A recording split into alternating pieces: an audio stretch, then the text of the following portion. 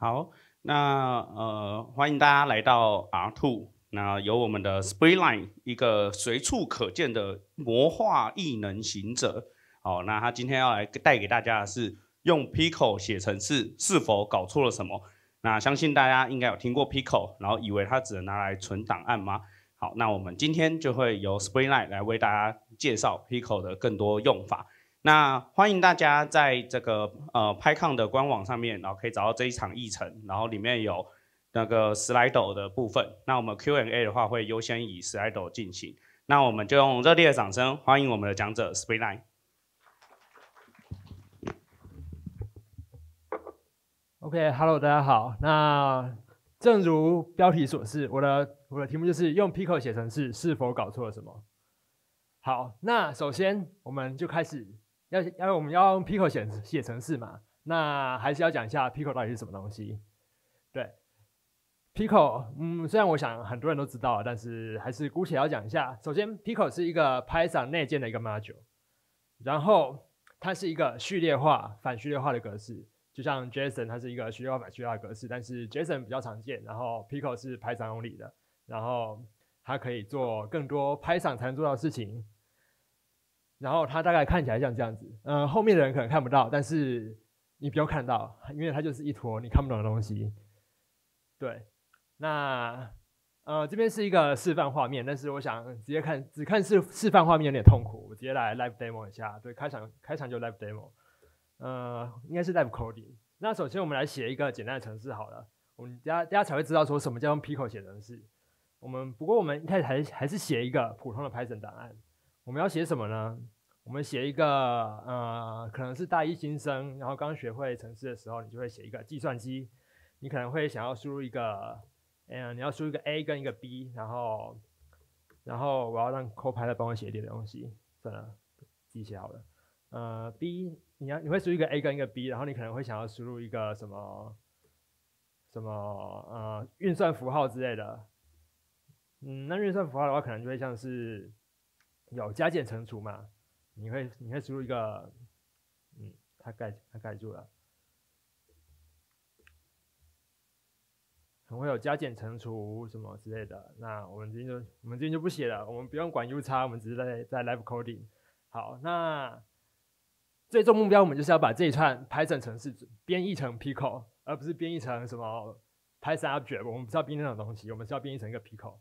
对，那这时候我们可能会想要有一个呃加减乘除对应的一个 mapping，它可能会对应到不同方选，那我们就写加减就好了。我们要 from operator import add 跟 sub，嗯，就加法跟减法嘛。那加法，然后减法，像这样子。那接下来我们要干嘛？我们要根据我们输入的 OP 来做运算嘛？哎，我这边要把它转转成 int，输入的数字要转成 int，对。然后这时候我们就可以拿 OP 里面这个 operation operator 里面的这个。符号，然后来对 a、b 做运算，它应该会动吧？如果这个大一程式应该还行吧？好，我把它存在哪？我把它存在 temp 的，我们输入一个一跟一个二，然后符号是三，是符号是加，它加起来会是三，看起来蛮合理的。但是我们现在是用 Python 跑，那我们现在要做的事情就是把它编译成 Pico。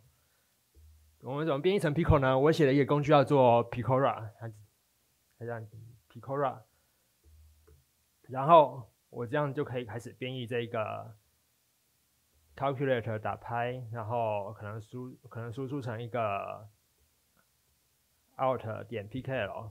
等一下，我这样输出输出成一个 out 点 pkl。那我们这样打开之后，我们会看到这一坨东西，这一坨东西。很很明显，它应该是一个，呃，应该它应该没有很明显，但是它是它现在是一个 Pico 了。好，那这时候我们用 Python 的一个内建的东西叫做 Python 减 n Pico，你后面 Python dash m Pico，你后面接上一个 Pico 档名，它就会帮你反序列化了。对你，你就会发现，哎，它跟 Python 一样跑起来了。我们现在不是在跑 Python 哦，我们现在在跑 Pico。我我们输入一个二，然后一个三，然后输入 OP 是减好了，它就会吐出负一。对，它就跟我们 Python 做 Python 做的事情一模一样。我们成功的把这个 Python Python 的脚本编译成 Pico 了。那我们现在就知道，我们这一次的我们这个议程的最终目标就是要做到这件事情。好，我们回来，我们回来这边，我们嗯这边做的事情跟我刚刚做的事情差不多，但是到底到底怎么做到的？好，那我们现在的我现在的开场到这边，到那首先我来开始回到我的自我介绍，好像每个议程都应该自我介绍一下，对。那首先我的网络上常用的 ID 是 Splitline，然后右边是我常常见的头贴。如果在资讯圈，在在在资讯圈看到这个头贴，可能有八成是我，但是有可能也有可能两成不是我，我也不知道那那两成是什么。但是好像我只有看过在资讯圈里面只有我我用这个头贴，因为它是来自一个漫画的一个东西，它是来自二十世纪少年。如果有看过的话，没看过也没关系。那我平常是一个打 CTF 的人，就是呃，应该说我是一个，你可以叫我一个治安爱好者之类的。然后我同时也是 Undefined Member 的成员。最后，我还是一个排伞爱好者。那当然，这是为了政治正确，因为我们在一个排抗里面。好，那所以什么是 Pico？虽然我们刚刚很很快介绍过了，但是我们还是好好的来看一下 manual 是怎么写的。嗯，那根据官方文件上面是这样子写的。他说，Pico module 是一个，他用一个二进制的 protocol 来实来实做一个。序列化跟反序列化，啊，针对 Python 物件的序列化跟反序列化的一个的一个 module。对，那我们注意到的事情是，第一件事情是它是序列化跟反序列化嘛，那我们前面提过了。然后第二件事情是它是一个 binary protocol，所以它是一个你可能乍看之下你会看不太懂的东西，你会看到直接打开来看，你会看到一坨一坨乱码的东西。那大概是这样子。但是我们什么时候会用到 Pico 呢？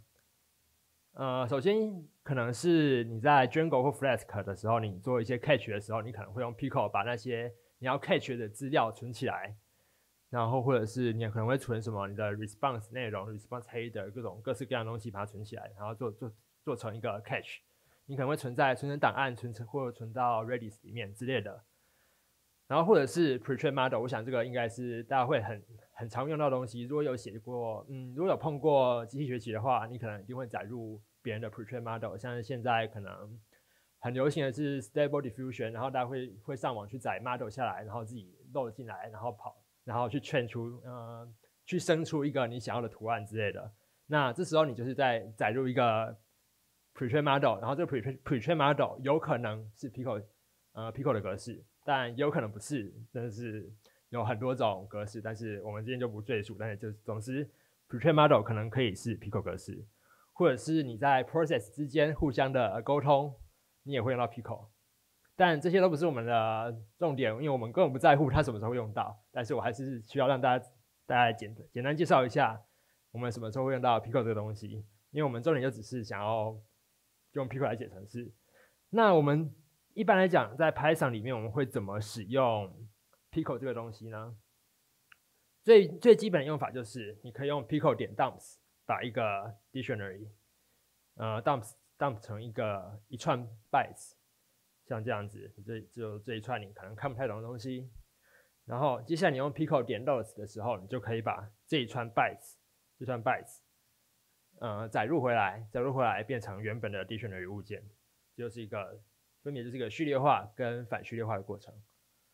好，那我们的目标就是把这一坨看不懂的东西变成一个类似类似程序语言的东西，让它变让它可以跑程式。然后同时我们在反序列化，也就是在 Pico 点 loads 的时候，它可以这个这个这个在在被反序列化的时候，它可以执行我们想要写出来这个程式。对，那究竟要怎么样把序列化格式变成程式语言？呃，我们首首先来介绍一个。一个叫什么 magic function 之类的，它就叫它叫做 object 底线底线 reduce。那大家看到底线底线底 reduce，如果熟悉 Python 的应该都会知道说，哎，这东西应该就是一个有特殊功能的函式，因为它是底线底线开头跟结尾的。好，那这边就是官方是这样写的，我们就带大家来简单读一下这一个东西要怎么用。我们可以怎么用它呢？首先它告诉我们说，哎，它可它应该要 return 一个 tuple，然后这个 tuple 里面应该有二到六个东西。那所以我们应该会写成这个样子，一个我们会定我们会定一个 class，然后它有一个魔术方法叫做底线底线 reduce，然后这个 reduce 要回传一个 tuple，里面有二到六个东西。那反正就最少是两个嘛，我们就先给它两个。然后文件也写到说，哎，它的第一个第一个地方，第一个地方要是一个可被呼叫的东西，一个 callable 的 object。然后它它会用来干嘛？它会用来创造一个初始化版本的物件。对，就是你要反序列化的时候，它会根据这个 reduce 的规则说，哎，我要创造一个。初始化版本的物件是怎么样子？因为你 reduce，你可能不一定就只是 reduce 一些基本类型嘛，你可能会 reduce 啊，你要反序列化的时候，你可能想要反序列化出一个一个不是 dictionary，不是 string 这种基本类型的，你可能会会想要反序列化出一个一个 TensorFlow 里面的 tensor 之类的这种东西，这种非基本类型，那它就会帮你初始化一个基本的状态，然后之后的第二个第二个这个 tuple 里面的第二个第二个物件，它就是一连串的 argument。所以，呃，所以实际上，它反序列化的时候会做这件事情，它会把第一个地方、第一个位置的东西当做一个函数，或者是当做一个 class，然后之后东西就是 argument 一、argument 二这种东西就给这个函数当成参数。所以总之，剩下东西我们就先不管了，我们现在就只管前两个东西。总之写起来会长得像这样子。那假设我们因为我们先就是前面是 call 一个方选嘛，然后我们后面的参数可以自己控制，所以假设说，哎，我们就直接在前面方选地方给一个 evil 啊，evil 不就会跑说跑后跑后面的方选了吗？然后 argument 的地方我们就给它一个字串啊，一个啊这个字串它就会跑，它就会变成一个我们可以跑程式啊，这样这样我们反序的话的时候，它就会跑出 evil print hello world 的这个，它就它它就会执行这个东西了，对，那。整体来说就是，哎，我们这个 class 在把它序列化之后，它会变成这一坨东西，这一坨东西，然后这一坨东西在，哎，在，哎，我们把它序列化之后会变成这坨东西。我一直搞，我一直搞混，也不是搞混，就是讲错序列化跟反序列化。总之，我们这个东西序列化的时候会变成这个东西，反序列化的时候，它就会成功的执行 print hello world。OK，那我们好像现在就可以再用 Pico。写出任何的 Python 程式了。那我的演讲到此结束，谢谢大家。呃，现在现在几分？十二分。哦，我是报几分的？我是报四十五分钟的，对不对？所以我应该还剩下三十分，好吧？倒带一下。好，我们回到这一页。我们回到这一页。那我们我们看到这个东西、这个行为的时候，我们应该要注意到一件事情，就是。哎，为什么？为什么反序列化的时候，它虽然是一个内建的功能，但是反序列化的时候，为什么 Pico 可以拿到任意的物件或任意的方选？我们刚刚做到什么事情？我们在反序列化的时候成功拿到了 Evil 这个方选出来，对吧？然后同时我们还还发现一件事情是，Pico 它可以 call 方选，呃，call 一个带参数的方选。对，为什么 Pico 可以做到这件事情？这时候我们就要深入的去研究一下这一坨 bytecode。它里面到底是卖什么药的？OK，那这时候有一个工具，也是 Python 里面内建的一个工具，叫叫叫做 Pico Tools。Pico Tools 它就是一个帮你来分析 Pico 的 Pico 这些 bytecode 的一个工具。它有一个方选叫做 disassemble，就 dis，就是帮你反主义这一坨东西。好。那真相大白的话，就是 Pico 其实是一个 stack-based 的虚拟机，它是一个基于堆叠的虚拟机，所以我们就来认真猜一下这个里面到底是长怎么样。它其实被反主义之后，会长会会长得像右边这个样子。然后 Pico 里面有两种资料结构，一种资料结构是叫做 memo，一种资料结构叫 stack。stack 的话，大家应该比较知道，反正就是它会从底下往上涨。的一个东西，那我的底下我把它画在上面，但是大家知道上面是底下。好，那底下往上涨东西的话，它就会依序的把东西推进去。然后这个 memo，这个 memo 它比较像是一个一个，它它的实作上面它是其实是用个 d i c t i o n 来来存的，所以它是一个可以任意存取位置的东西。你可以直接把东西塞在二，直接把东西塞在零都可以。好，那我们就来照着这一个我们刚刚的这个东西，假设把把我们自己当做 Pico，那我们会怎么去反反序列化它呢？首先第一个指令它叫做 Protocol，那就只是定义一下说，哎，我这个 Pico 版本是 Protocol 三。那我刚刚前面没讲到，但是 Protocol，嗯，哎，Pico 这个东西它有很多种 Protocol，在 Python 二以前的话，你最高只能用到 Protocol 二，然后 Python 最新版的话，你可以用到 Protocol 五，但是这些这些就只是一个小知识而已，它没有很重要，就是它只是影响到你的 bytecode 可以用哪些，但是 bytecode 的功能都大同小异，它主要是为了增加你的 Pico 的呃效率来做，所以它才需要做这些东西。那首先第一步有个东西叫做 global，这个 global o p code 它做了什么事情？它就是嗯，它就是把这个 evil import 进来，然后 push 到 stack 上面。evil import 进来 push 到 stack 上面，那我们就知道其中的一个答案。我们刚刚有一个问题是，哎，为什么它可以取得任意的方选？那这边就告诉你一个答案，就是它可以从它可以 import 这个 builtins module 里面的 evil 进来了。那顺便讲一下，就是大家有可能觉得说，哎，啊我 evil 不就是打开 Python 买就可以用的东西吗？就那有什么好 import 的？那其实就是 Python 它自己打开的时候，它会自己帮你把这个 evil import 进来。应该说把这个 builtins 整个东西 import 进来，让你好，就是有点像 from builtins import 型号的感觉。对，那 builtins 其实还是一个 module，所以像那些什么 print 啊，或者是 int、string、str 那些东西，那些其实都是从 built-in import 进来的这样子。好，那我们现在把 evil import 进来，push 到 stack 上之后。它做一件事情是把它这个东西摆到 memo 上面的第零位置。那接下来第二件事情事情是它 push 一个字串，这个字串 push 也 push 到 stack 上面。我们现在 stack 上面有一个 evil 跟一个 print 的字串，然后一样是摆到 memo 上面。那摆到 memo 上面这个动作我等下就忽略掉。然后接下来它做一些，它有一个 OP 课叫做 tuple 一，tuple 一这个东西，它是把 Stack 顶端的一个东西变成 Tuple，那顾名思义，它它还有 Tuple 二、Tuple 三，它可以帮你把 Stack 顶端的第两个东西、三个东西变成一组 Tuple 这样子。然后接下来它就会做个东西叫 Reduce。Reduce 这一个这个 bytecode，它做的事情就是把 Stack 顶端东西 Pop 出来当做 Argument，那再 Pop 一个东西当做 Function，所以。这个东西，这个 print 的这个 tuple 就变 argument 了。那这个 evil 这个东西，它就变成方选了。那这边底下有一个虚拟码，大概是长这样子。然后它这样，它就会帮你把它把那个呃方选跟 argument 都抓出来之后，它就帮你把它抠完。然后抠完之后，它的 return 值就再 push 回 stack 顶端。然后接下来就会传个 none，因为 print 诶 print 它就会传会传 none 嘛。对好，那大概就是这个过程。所以我们刚刚也也发现到第二件事情，就是哎，Pico 内内部有一个 OP code 叫做 Reduce。这个 Reduce 它帮你做的一件事情，就是它可以帮你扣方选。好，那我们现在解解答了前面两个疑惑。那你看到这边，你其实就会你其实就会发现说，哎，这个 Pico 其实有非常非常多功能啊。那它到底还有什么隐藏的功能我们不知道的呢？那我们这边就整理一下 Pico 到底。可以做到什么事情？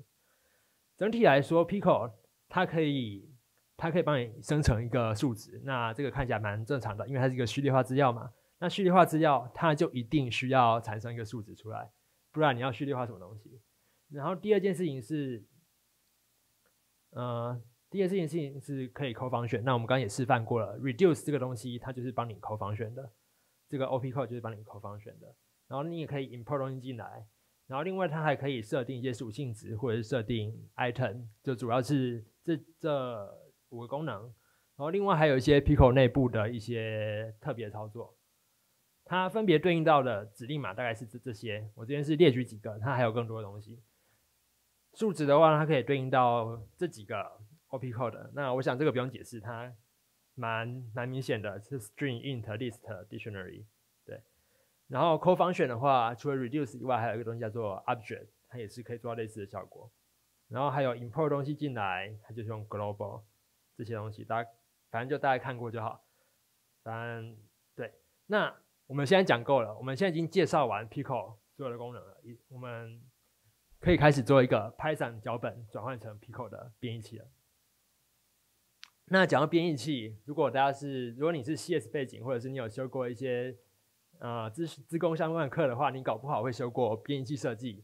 那编译器设计，它会告诉你说，哎，我们要做一个 parser，一个 scanner，然后我们要你要学会什么 LL、LR 什么什么各种的 parse 方法，然后你要学会做什么语法分析之类的。但是我们这边不用管它，你可以你可以忘记你之前在编译器的课学到东西，因为它没有我们这边东西没有那么复杂。对，我们现在要知道事情就是，我们现在先回到一个最基本问题，就是，哎，我们要怎么样把 Python 的语法 map 到一个对应到一个 Pico 的指令吗？那我们先从最简单的开始，import，import 它的它的格式很简单，它就是假设你要用 built-ins，你要从 built-ins import print，像我们刚刚在做的东西，嗯，你就可以做，你就可以写成像这样子，C。built-ins，呃，你的 module 摆在这边，然后换行，然后后面接上接上你要 import 进来的东西，你就会 import 一个 print 进来了。然后如果你大家手边有手边有排展的话，你可以跑起来看看，就 pico 点 dos 这个东西，它应该就会 import 一个 print 进来了，print 的方式进来了。然后它其实也不止 global 这个 op code 啦，但是我这边就举一个看起来最好懂的来解释。然后另外还有像是一些产生数值的东西，我们我这边就选三个东西，一个是字串，一个是 int，一个是 tuple。然后其他就有点大同小异，所以我这边我这边就选这三个。首先第一个是字串，这这个字串它可能会长像这样子，它的 op code 是一个 x，它是一个叉叉，然后它的名字叫做 binary unicode 这样子，然后它后面接了一串四个 byte 的字串字串长度。你把它是一个 little endian 的形式，所以你把这个斜线 r 转成，嗯，你把这个斜线 r 转成十进位的话，它就是这一个 hello world 的字串长度这样子，大概是这种格式。反正就大家简简单看过，我们不需要太认真知道这个内容是这个，就你你不用记起来这东西在干嘛，只是让大家简单知道说，哎，Pico 其实是这样子序列化东西的。然后 int 的话，它可能会分成。呃，纯文字的表达，或者是 binary 形式的表达，像这个样子。然后或者是 tuple 的话，tuple 就稍微特别一点点，它会 push 一个 mark 上去，它会 push 一个 mark 到 stack 上去，它就是标记说，哎，我这边就是，呃，等一下做做的事情到这边为止。那做什么事情呢？它它先 push 一个 int 上去，再 push 一个 int 上去，这时候 stack 长这样子。然后最后它会读到 tuple 这个 op code，它叫做 t。那这时候，这时候他就会开始把 stack 上面的东西一直拿出来、拿出来、拿出来、拿出来，然后一直拿到有 mark 为止。这时候他就会吐回来，变成这个 tuple 的东西了。好，那除此之外，tuple 还有各种奇怪的形状，像是你可以一次拿一个，一次拿两个，一次拿三个，然后你就可以变成各种长度的 tuple 形状。对，这也是为了它，因为这也是 Pico 内部为了增加效率，所以做的一些一些操作。好，那这边就是一些简单的数值格式的示范。那我们要怎么样抠方选呢？抠方选它内部的实作大概大概长像这样子。首先，它会 push 一个 push 一个这个方选上去，接接下来它 push 一个 tuple 上去，这个 tuple 就是。就是它的参数，这边有两个参数嘛，所以它的它它的 tuple 是两个东西，两个字串，一个是 hello，一个是 cat，它就 push 上去，长像这样子。那到目前为止，你的 stack 上面有一个有一个 function，接下来有一个 tuple，这个 tuple 里面包含了两个东西，一个是 hello，一个是 cat。然后这时候它读到一个东西叫 r，这 r 就是 reduce，我们刚刚讲过 reduce，它就会帮你 call function。那应该就蛮蛮明显的，它会把这个东西。当成方选，然后再把 stack 顶端的东西当成 argument，它就会把它就会 call 方选这个行为了。好，那我想大家已经看的感觉有点多了，然后大家也不会记起来这些东西，但是大家已经知道有这些功能了。那像是还有设定说，哎，我是要设定一个我要设定一个属性值，我要设定一个 index 这种行为，Pico 也是做得到的，但是我们今天就不详细解释了。总之，相信我，Pico 做得到。那但是有个有一个比较有趣的东西，你是一个程式语言嘛？你是一个程式语言，那你要怎么样把一个你总是要有变数嘛？有变数的话，你变数要怎么存呢？Pico 好像没有这个东西，对吧？那在我们这边，我们就用 Memo 实做，大家应该还记得 Pico 有东西叫做 Memo，虽然我们刚刚只有管 Stack。但是它还有一个 memo，那个 memo 就是一个你可以任意存取的一个一个空间，你可以直接存取一、二、零之类都可以，你可以直接把里面东西拿出来。Pico 可以，Pico 就会可以帮你做一件事情，是把你的 stack 顶端的东西塞进去 memo 里面的某个地方，像是我们今天先 push 一个字串上去，一个字串上去，然后 stack 顶端就是这个这个这个东西。这个字串，然后你接下来 p 零 put 零的时候，他就告诉你说：“哎，我要把 stack 顶端东西 put 到 memo 的第零个位置上面。”这时候你的 memo 这个阵列里面第零个位置的地方，它就会是这个字串了。那这时候我们发现，我们就可以做到一个像是变数的东西，因为这个这个东西就就会帮你讲说：“哎，我的零的地方，那我就有一个 variable 零的东西是。”这个字串内容，但是我们的这样有点限，有点受限制嘛。我们想要我们的变数可以自由定义一点，像我们想要定义变数名称叫做 name，OK，那所以我们这时候我们的编译器内部，它又做了一个事情，叫做把 name 把呃变数名称对应到 memo ID。变数名称我们今天是 name，但是我们的变 memo ID 它的它是零。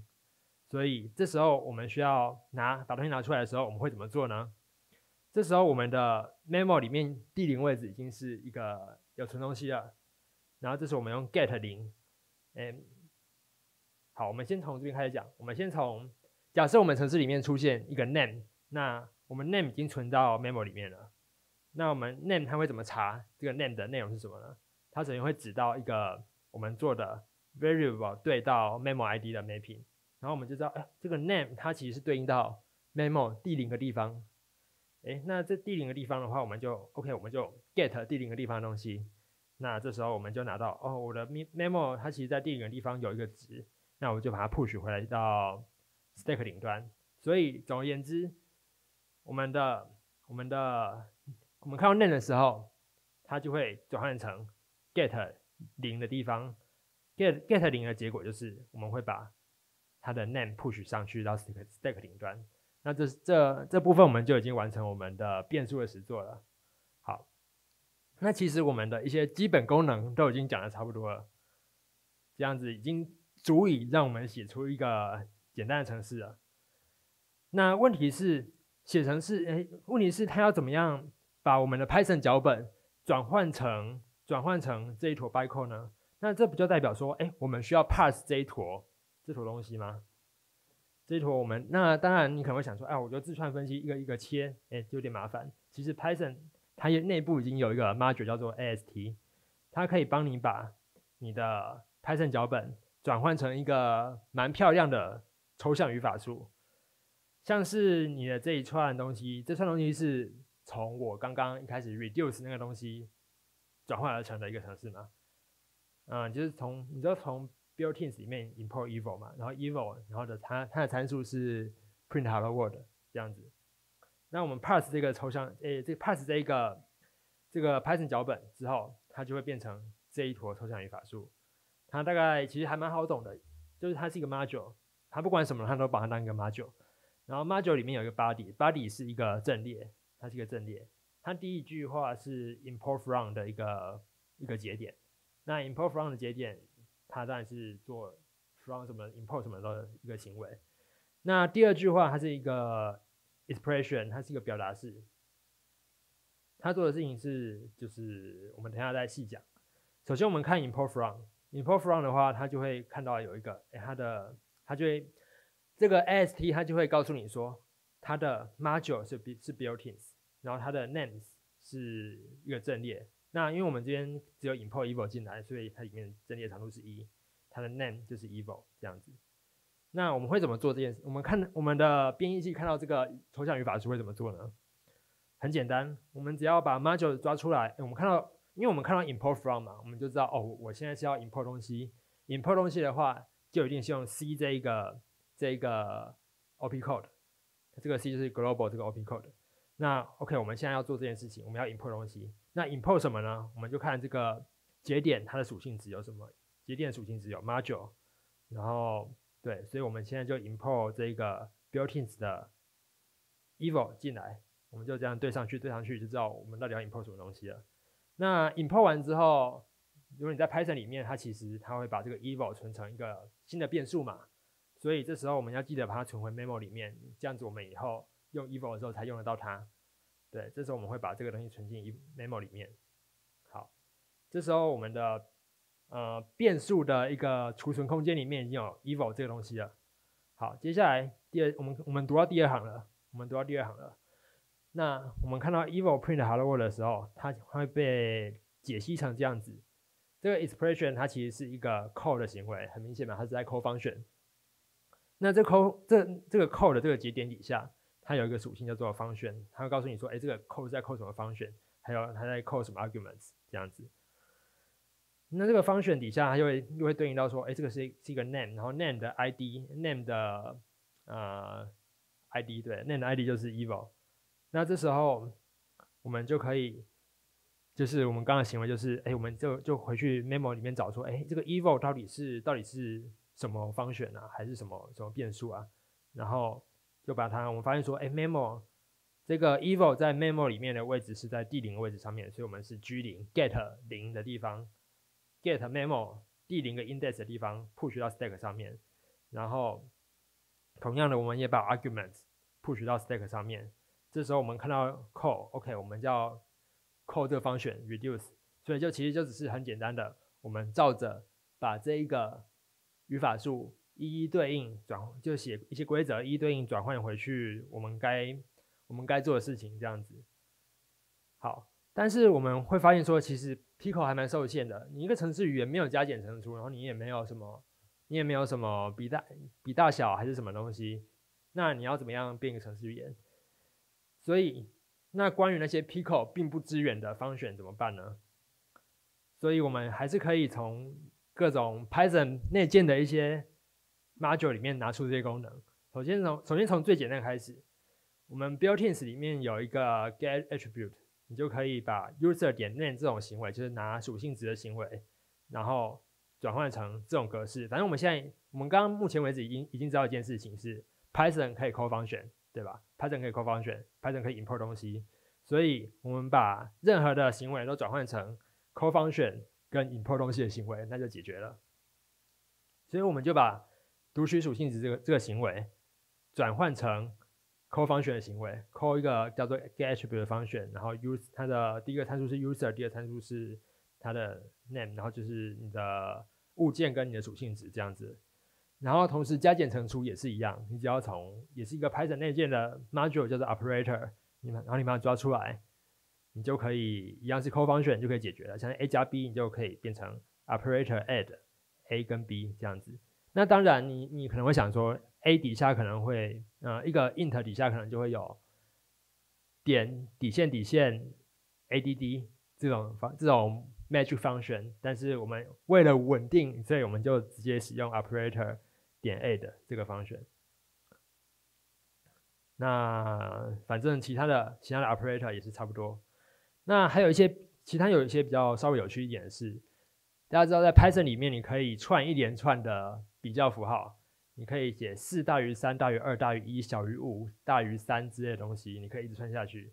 所以我们为了实实现这个功能，所以我们把这个 training 的这个就是一连串的比较功能，把它转换成这个格式。我们首先切成前半段三大于二，OK，operator，呃，GT 就是大于的意思，greater than 大于三大于二的结果，还有二大于一的结果，把它拆开来，然后再透过 built-ins 里面的一个方式叫做 o，o 的意思就是说，哎，我的我的这个每一个 element 都要是 true，它才会是 true，因为三大于二大于一每个每一个比较都是 true，所以它才可以成为 true。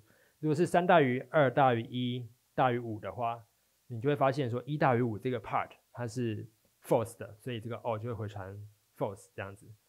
但是这种行为就是给大家就是一个小小的算是小 trick 吧。那还有一些 Python 还有一些有趣的东西，像是 a or b or c。那你要怎么样用纯方选做到 a or b or c 这种一连串的操作呢？我这边就把它转换成这一坨东西，这东西看起来有点难懂。总之，truth 就是呃，它是不是一个可为真的东西？像是像是大于零的数字，它就会是一个可为真的东西嘛？像是 if if 十三，那这个 if 会进得去，这样子它就会它就是一个 truth 的值。那我们就过滤出来说，哎，这个 truth 的值里面有没有东西？有没有东西？像是假设它是一个零零零好了，这个 truth 出来就是过滤出来就是没东西。然后这样子你拿出来，你的拿出来就是一个空的值。在空的值的状况下，这个 a or b or c 零 or 零 or 零的话的状况下，它就会回传最后一个东西，最后一个出来，像这样子。但是总之这样解解释起来有点复杂。它的虚拟码其实可以转换成这样子的正常的 Python 程式，就是它就是这样就可以成功使做 A or B or C 这个比较的操作。那 Lambda 的话，你也可以变成像这种，呃，这边有 Lambda，它很简单，就是传入 A 跟 B，它会回传 A 加 B。那当然你可以用一个最暴力的方法，就是 Evil，对，这个看起来就超级暴力的，但是我们觉得这样太无聊了，所以我们。弄成这种东西，你们知道在 Python 它内部它是怎么怎么实怎么生成一个方选的吗？它其实它有东西叫做 code type，就是每个方选底下都有一个东西叫做 code type。那它内部就是存了一连串的 Python bytecode，然后还有一些什么你的里面有几个里面有几个常数，里面有几个参数这种东西，就一连串这种很复杂的东西。那总之呢，我们这边就不赘述这是什么东西，有兴趣的话可以自己去查这个 Python document。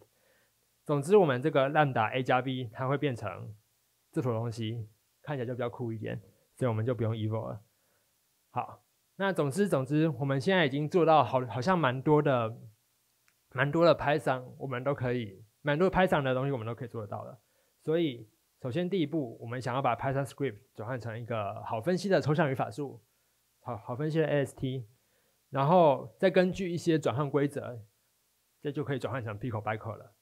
那第一个部分的话，它已经被拍上内部的内内部的函数已经做得到了。然后第二部分，哎，我们要怎么样把 ST 转换成 Pico bytecode 呢？我们已经解释过了，就像前面那样子，就把它一个节点一个节点转过去，就差不多了。好，所以我们基本上已经完成了。那其实我们可以这样结论了。就是我们只要照着规则好好的把一个东一个东西拿出来，它就会变成你想要的 compiler 的样子。那结论的部分就是，所以我们做了一个好像没什么用的东西吗？好，我们先等一下。那我们我们回到一件事情，我们会知道一件事情是，我们有个小结论就是 Pico 是一个程式语言，它可以写一个简单的程式，像我们最开始的 demo，我们已经示范过，它是一个程式语言了。那所以我们在载入 Pico 的时候，我们意味着我们正在执行着任意的程式，没错。所以所以说，永远不要相信任何被 Pico 过的 object。就像是你如果如果在网络上面随便载一个 Stable Diffusion 的一个 model 下来，然后你就把它载进来的话，你的电脑可能会被打掉，因为它你你其实就在执行一个完全不受信任的程式，而且你也没有拆开来看来看过它是怎么样的东西。尤其像是一些什么一些你可以任意上传 model 的地方，你其实根本不知道有没有任意上传一个很危险的 model 上去这样子。虽然你可能会觉得说，哎，那个 model 好像跑可以跑得起来啊，但是就是像一串程式这样子嘛，你可以你可以在一大串程式中间塞入一串恶意的程式，但是在最后的结果还是正常的，这是很明显是可以做得到的东西。那这是一个比较基本的小结论。其实这个部分的话，在在 Pico 的官方文件上面已经有写到说，哎，你永远不要相信不受信任的 Pico。如果你要使用 Pico 的话，其实也不是不行，但是你就要第一个事情是你可能要检视过它，或者是你要你要对它做过签章，就是这个 Pico 是你自己生出来的，你要验证这个 Pico 它是不是正常的这样子，是不是你自己生出来的。那那好，首先这个是一第一个部分。那我们可以回到一个，我们会去想到一个问题，就是哎，既然说，既然说我们的 Pico 它好像有点危险，你可以这样任意的 import 东西，好像有点危险。你可以任意的执行程式，好像有点危险。那有 Pico 官方有没有提出什么方法来防御它呢？其实有一个方法就是，就是在针对你在 import 东西的时候，import 东西的时候，把它把它挡下来。你就想你就想说，哎。那既然我们刚刚第我们刚刚的最开始一个范例是，我们可以 evil 一个一串程式码，然后然后然后我们在，所以就是代表说我们需要拿到 evil 这个东西，我们才可以跑程式嘛。那或者是说我们要拿到各种方选，我们才可以跑程式嘛。那只要在 import 方选的时候，我们把它过滤掉不就好了吗？对，这就是 Pico 官方在做的事情。嗯，其实你在 import 方选的时候，Pico 内部有东西叫做 unpicoer。它会有一个 find class 的方法，这个 find class 方法就是在这就是 hook 住你要你在 import 东西的时候，它就会 hook 住这个东西。像是如果你要 import builtins 里面的 print 的话，它就会 trigger 到 find class 这个 builtins。呃，第一个参数就是 module，第二个参数就是 name。你要从 builtins import print 的话，就会这样子呼叫这个 find class 这个东西。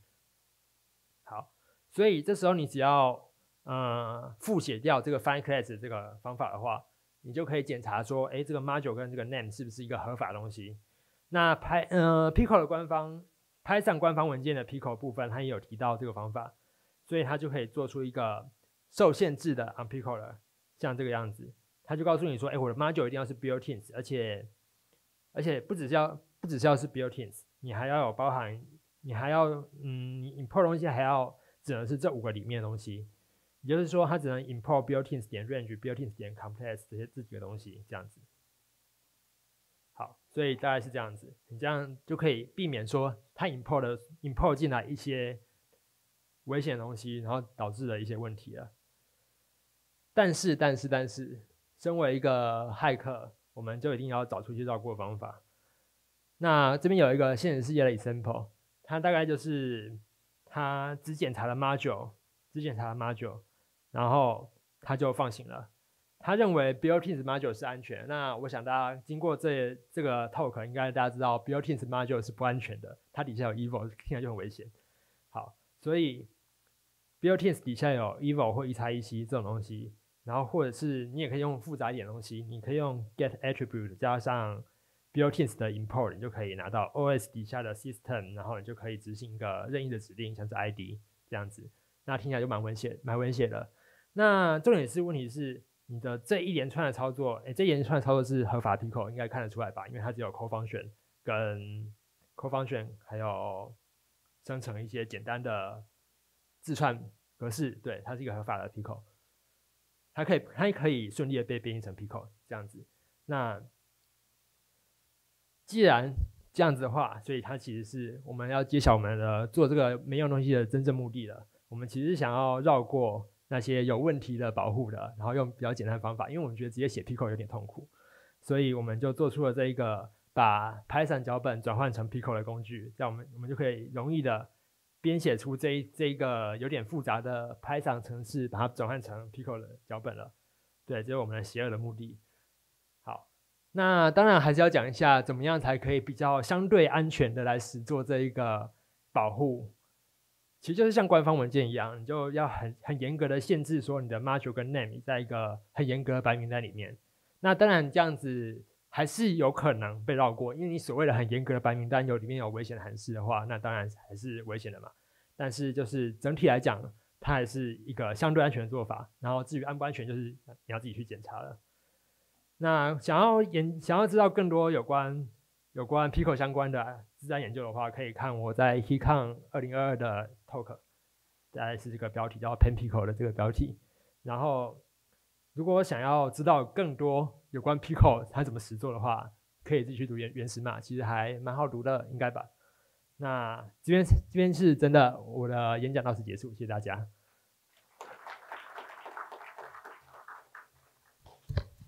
好，我们感谢呃 Sprayline 非常精彩的演讲。那呃，因为时间的关系，所以我们只挑一题 Slido 上面的题目。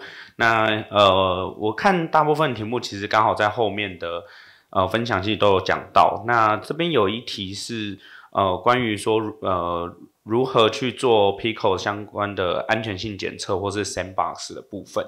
那这一块不知道呃可以再麻烦 Springline 跟大家分享一下。嗯，安全性检测其实有点小小的复杂，因为它其实就是你要确保它每一个你允许的名单里面，它不可能被串出一个一个一个有问一个危险的东西。这其实有点小复杂，这其实有有点像是你要认真的去研究说你的白名单。像我刚刚最后有讲出白名单嘛，白名单算是一个相对可靠的 sandbox 方法，它是一个相对可靠的 sandbox 方法。但是，一样是我刚刚前面讲的，你有可能会被绕过。但就是一样是你要认真的去检查，说，哎，它到底是不是有顺利的？呃，你的每一个原学白名单里面是不是都是安全的？这样子。那当然就是我没有一个很保证可以很系统化，你绝对是安全的。但是你可以靠自己的检测保证它是，呃，也没保证，就是看起来是安全的，对。那但还是尽可能的不要去载入不可信的 Pico。那其实 Stable Diffusion 有一个开源东西叫做 Stable Diffusion Web UI，它里面的一个一个这个 Restricted on Pico 的，它其实是我看起来是做的还蛮安全的这样子。它也是给了一连串的白名单，但是我看起来是没有什么奇怪的方法可以串出有问题的东西。那总之就是写好白名单，对，这是唯一的建议。或者是不要用 Pico。好，那我们再次用热烈掌声，谢谢我们 Springline 带来的分享。那接下来我们有十分钟的休息的时间。那呃，我们下一场的 R two 的演讲是呃由玉维带来的快速生成 MLOps 的基础程式码架构，使用 ChatGPT。好，那呃就呃欢迎大家过前来下呃聆听。